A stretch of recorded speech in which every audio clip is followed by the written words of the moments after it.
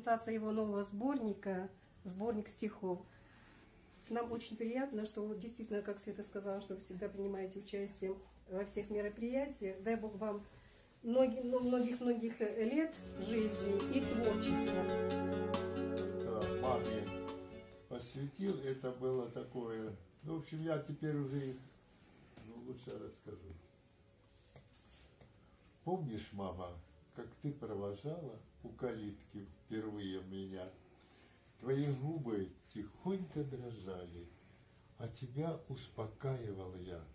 Прости меня, мама родная, за то, дорогая, прости, что дома я редко бываю, и снова мне надо идти.